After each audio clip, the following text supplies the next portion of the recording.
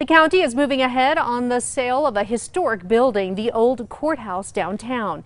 It's been closed for years, but not forgotten. It pops up in movies and TV shows once in a while. Here's News 13's Rebecca Atkins. It does have a lot of history. Built in 1926 on the corner of Tijeras and 5th Street, this was once the county courthouse. It even had a jail.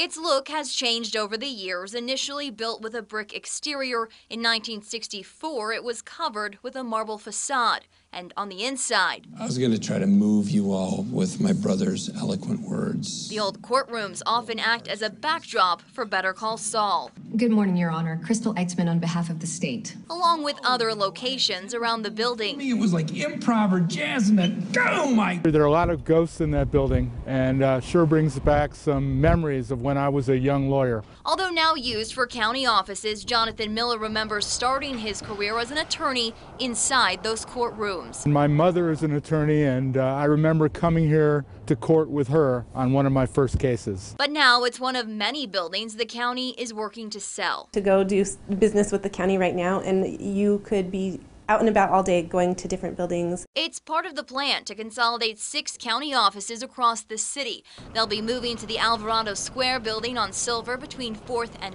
5th. Last year, there were reports the sale price for the old courthouse was $640,000. What a developer might do with it is unclear, but people like Miller have their own ideas. I love watching the episodes of Better Call Saul where they use it. I'm sure they can use it in uh, filming. Rebecca Atkins, KRQE News 13. As we reported last year, the county's old jail just down the block should be coming down soon. The county will spend $2.5 million to demolish the towering eyesore. They hope to sell the land to developer to a developer once that is done.